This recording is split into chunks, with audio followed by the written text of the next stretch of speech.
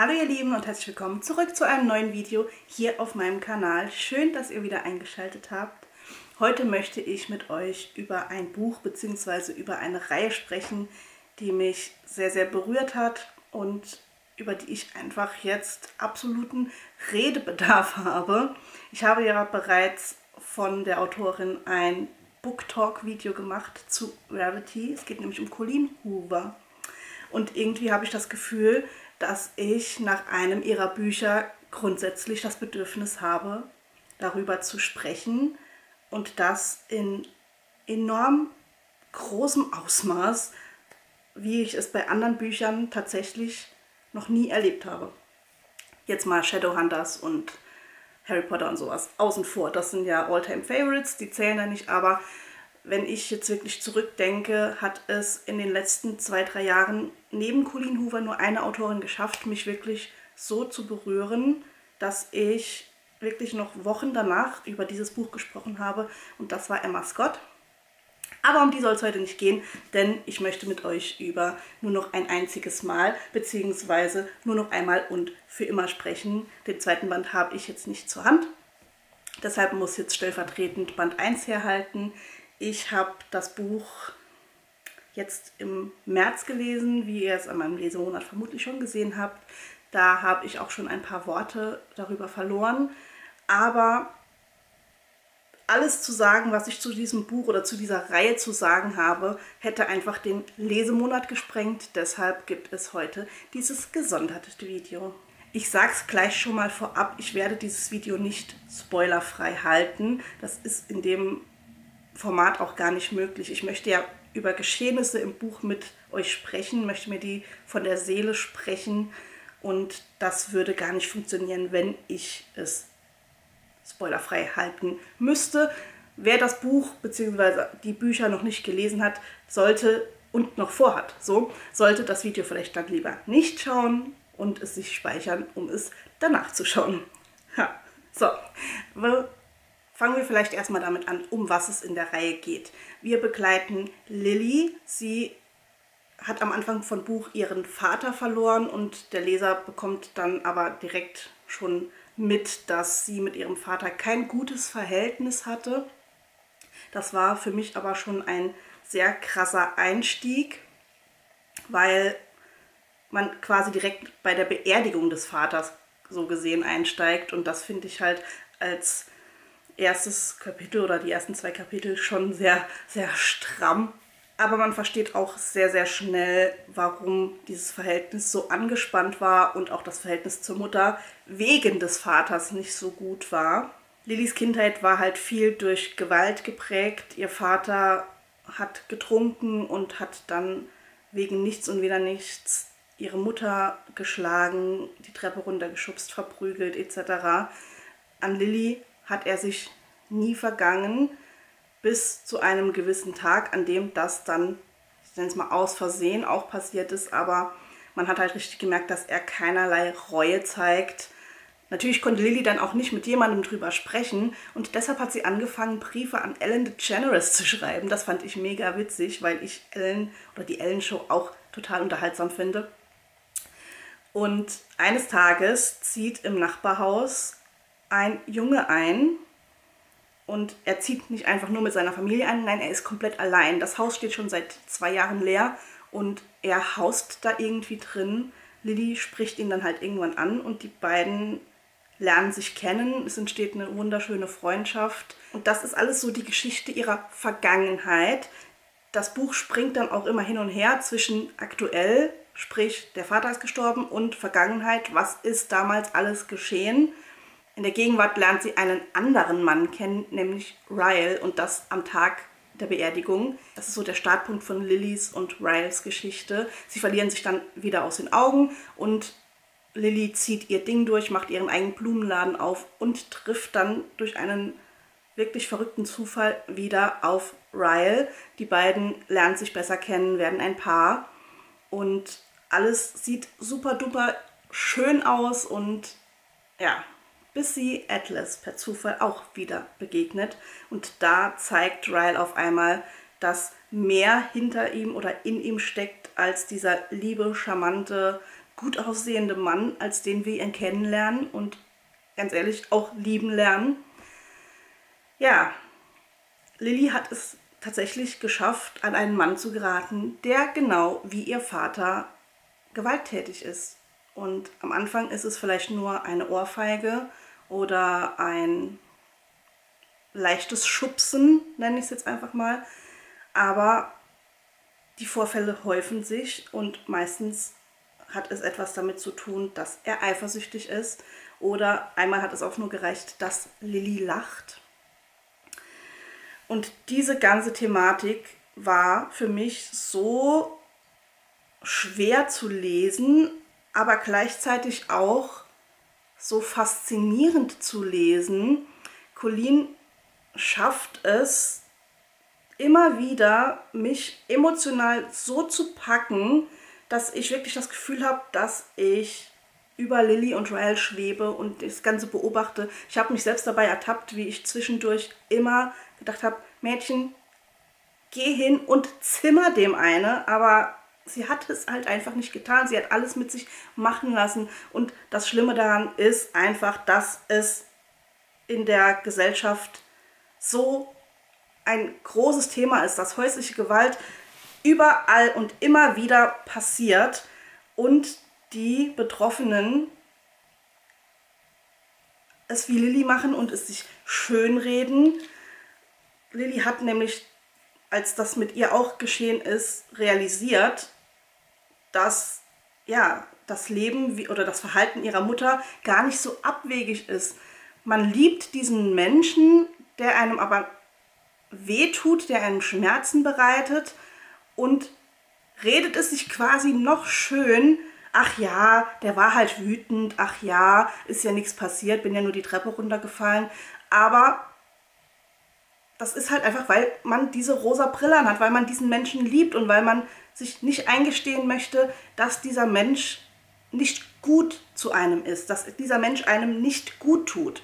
Und das war wirklich sehr hart zu lesen, weil man am Anfang so eine Wut auf die Mutter hatte und als es dann Lilly passiert ist, hat man selbst bei sich so gedacht, ja, wir haben jetzt das Leben mit Ryle kennengelernt und es ist wirklich so, dass man sich selbst als Leser einspricht, okay, das war jetzt vielleicht eine einmalige Sache, schwamm drüber und gut ist.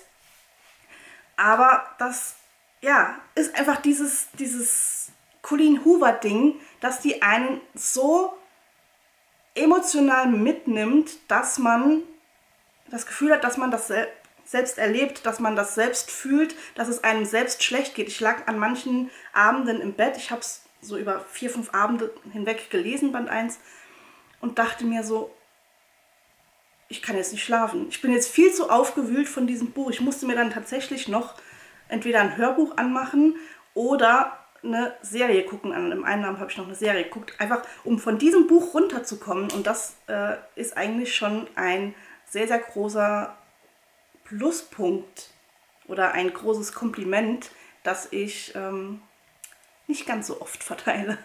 Ohne jetzt zu viel zu verraten, aber wenn in Band 2 die Geschichte von Lily und Atlas weitergeht, wird er wohl im Laufe des Buches noch eine größere Rolle spielen. Und er ist so quasi so ein bisschen der Anker, der Lily die Augen öffnet, um sich von Ryle zu trennen. Es gab dann nämlich noch einen wichtigen Indikator, der in ihr Leben gestolpert ist, nenne ich es jetzt einfach mal so. Sie wurde nämlich schwanger und selbst als sie schwanger war, hat Ryle die Hand gegen sie erhoben und da war dann der Punkt ähm, erreicht, wo Lily sagte, okay, ich kann so nicht, ich will so nicht und flüchtet sich zu Atlas. Und ich glaube auch tatsächlich, dass sie, wenn Atlas nicht gewesen wäre, noch viel, viel länger gebraucht hätte, um sich, wenn überhaupt, aus diesem Konstrukt, aus dieser Ehe zu befreien. Atlas ist einfach so ein totaler Ruhepol. Ich habe mir zwischendurch auch ganz oft selbst gewünscht, so einen Atlas zu haben, weil er einfach so vom Grunde seines Herzens einfach nur gut ist. Er hat zwar auch seine Ecken und Kanten, aber er ist einfach so grundgut. Wie meine liebe Karin sagen, so herzenswarm. Atlas ist einfach ein ganz, ganz toller Charakter und deshalb bin ich auch sehr froh, dass Colleen Hoover diese Geschichte fortgeführt hat in nur noch einmal und für immer. Dort geht es nämlich dann weiter mit Lily und Atlas, quasi das Leben nach der Beziehung mit Ryle, wie es weitergeht, wie sie sich entwickelt hat. Sie war dann alleinerziehende Mama und das muss ich sagen, hat mich persönlich noch viel, viel mehr gecatcht. Ich habe Band 1 geliebt, aber durch dieses alleinerziehenden Ding habe ich ähm, ja, Band 2 noch viel, viel, viel mehr gefühlt. Man hat es nicht wie in anderen Büchern verschönigt bekommen. Nein, man hat so richtig den Alltag einer alleinerziehenden Mama gespürt. Und ich muss jetzt mal sagen, ohne jetzt irgendwie ähm, zu sagen, ich bin so arm oder so, aber ich muss sagen, Lilly ist selbstständig. Sie macht ihren eigenen Blumenladen. Damit habe ich mich identifizieren können, weil ich ja auch nebenher noch meinen eigenen Laden habe. Dann alleinerziehend kann ich mich auch damit identifizieren. Dann die Frage, wie kriege ich mein Kind durch? Das ist halt immer so eine komplett präsente Frage in deinem Kopf. Da macht man sich halt auch so seine Gedanken. Und Lilly auch, wenn der Blumenladen nicht mehr funktioniert, wie kriege ich das gestemmt? Man muss auch sagen, dass das Verhältnis zu ihrer Mutter im Laufe des ersten Bandes schon deutlich besser wurde, nachdem ihr Vater eben nicht mehr da war. Und das Verhältnis hat sich in Band 2 nochmal ver verbessert, sodass sie eben auch auf ihre Mutter zurückgreifen konnte, um die Kleine zu betreuen. Und dann hat sie natürlich noch die Schwester von Ryle, die ja auch bei ihrem Blumenladen gearbeitet hat, und ihren Mann und deren Tochter, wo sie dann auch die Kleine mal hingeben kann. Das ist schon Gold wert. Also ich habe sie da zwischendurch immer mal wieder beneidet, dass ähm, sie einfach so viele Möglichkeiten hat, dass sie weiß, da kann das Kind jederzeit hin. Wenn du halt eine berufstätige Mutter hast, ist das halt etwas komplizierter. Sagen wir es mal so, um äh, so mein persönliches Ding nochmal mit reinzubringen. Band 2 dreht sich dann wirklich hauptsächlich um die Entwicklung von Lillys und Atlas Beziehung. Die beiden sind seit ihrer Kinderzeit viel erwachsener geworden. Jeder hat so sein Päckchen zu tragen, jeder hat seine Verpflichtungen, seine Verantwortung und es ist einfach so schön gewesen zu sehen, wie Atlas sich immer noch wie früher liebevoll um Lilly kümmert. Er hilft ihr da wirklich durch schwere Zeiten hindurch. Ich meine, zwischen den Bänden, also zwischen Ende von Band 1 und Band 2 liegen, ich glaube, elf Monate. Ähm, Lee hat sich auch schon ihr eigenes Ding wieder aufgebaut, ihren Alltag mit Kind. Und Atlas ist da jetzt quasi nicht der, der sie rettet oder so, sondern er ist einfach derjenige, der ihr Leben bereichert. Und das fand ich einen wunder wunderschönen Gedanken. Und Atlas ist mittlerweile eben auch kein obdachloser Jugendlicher mehr, sondern hat sich auch etwas aufgebaut. Er hat mittlerweile, ich glaube, zwei Restaurants, ich weiß nicht, ja, zwei Restaurants, die auch gut laufen und hat dann eben auch noch sein eigenes Päckchen zu tragen, weil er erfährt, dass er einen Bruder hat und ja, dem hilft er so ein bisschen unter die Arme, damit der nicht das gleiche Schicksal erleiden muss, wie es ihm geschehen ist. Und auch dieser Storystrang war einfach nur wunderschön, weil dieser Junge auch einfach so ein herzensguter Junge war. Man lernt ihn erst als kleinen Rebell und äh, Vandalen kennen, aber später entwickelt er sich zu einem richtig tollen Jungen. Und die vier sind so eine richtig schöne Patchwork-Familie. Und da finde ich es auch besonders toll, dass Colleen das nicht verschönigt hat, sondern auch gezeigt hat, was so die Schattenseiten von sowas sind, da gibt es halt immer mal irgendwo einen Ex-Partner, da gibt es halt in Atlas Fall die Mutter, die sich schon um ihn nicht gekümmert hat und nach dem zweiten Sohn eigentlich auch nicht fragt und nur hinterm Geld her ist. Jede Patchwork-Familie hat auch seine Päckchen zu tragen und seine Probleme, an denen sie arbeiten muss.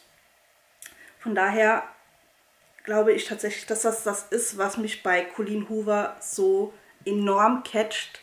Das ist nicht rosa Blümchen, Schmetterlinge und alles ist supidupi, wie es in vielen New Adult Romanen eben am Ende einer Geschichte ist. Die beiden Protagonisten haben sich gefunden und lieben sich für immer und ewig, rosa Wolken etc., sondern Colleen schreibt sehr, sehr realitätsnah und hinterfragt halt auch, was passiert nach dem Happy End. Und genau das ja, haben wir in Band 2 erlebt. Und ich persönlich würde, ich muss mal die Hand wechseln, ich persönlich würde es auch sehr willkommen heißen, wenn wir irgendwann noch einen dritten Band lesen würden. Ich glaube zwar nicht, dass das passieren wird, weil doch die größten Fragen jetzt abgedeckt sind, aber es wäre tatsächlich sehr schön zu lesen. Ich persönlich würde mir einen Roman wünschen, wenn Emery ein bisschen älter ist und Colleen etwas dazu erzählt, wie Emerys Verhalten als Kind-Teenager zu ihrem Vater Ryle ist.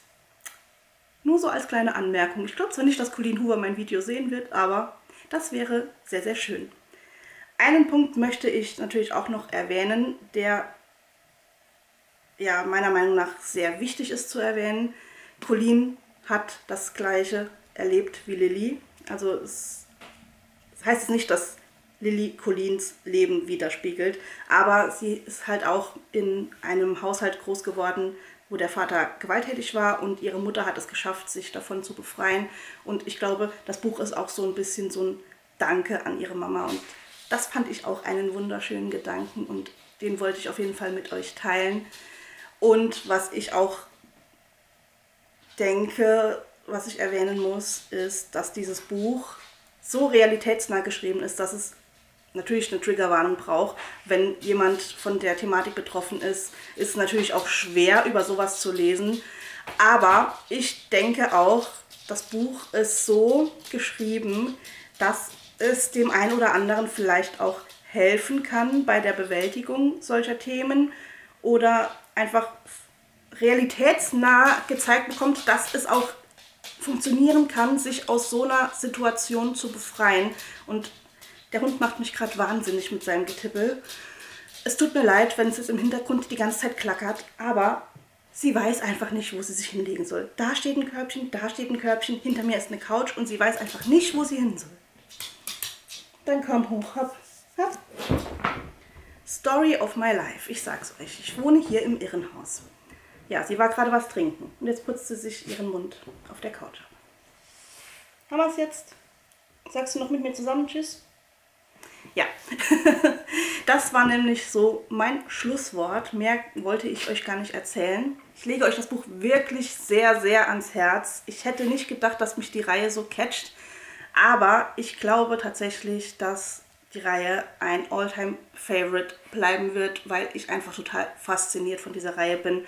Und es ist genauso wie bei Emma Scotts ähm, Forever Right Now. Das hat einfach einen Platz in meinem Herzen und diese Reihe hat den mittlerweile genauso, weil ich seit Wochen über dieses Buch nachdenke und das bedeutet einfach, dass ich es wahrscheinlich noch sehr, sehr oft lesen werde und dementsprechend wird es auch nie, nie, niemals mehr hier ausziehen. Wer jetzt immer noch sagt, hm, ich weiß nicht, ich bin trotzdem immer noch nicht so ganz überzeugt, auch wenn du sagst, das Buch ist toll und jeder muss es gelesen haben, habe ich da einen Vorschlag. Schaut einfach mal in die Infobox rein. Da ist ein Link zu Nextory. Das ist ein Hörbuchanbieter und da gibt es das Buch auch zum Hören mit meinem Link da unten könnt ihr nämlich 30 Tage kostenlos testen und könntet vielleicht mal in das Buch oder in Band 2 reinhören. Nur so als kleiner Tipp von mir. Das war es jetzt nämlich auch von mir. Ich wünsche euch jetzt noch einen wundervollen Tag. Schreibt gerne in die Kommentare, was ihr zu der Reihe zu sagen habt. Oder schreibt mir bei Instagram oder, oder, oder. Das war es jetzt von mir. Ich wünsche euch noch einen wundervollen Tag. Schreibt mir gerne eure Meinung in die Kommentare und ich hoffe, wir sehen uns auch beim nächsten Mal wieder. Tschüss!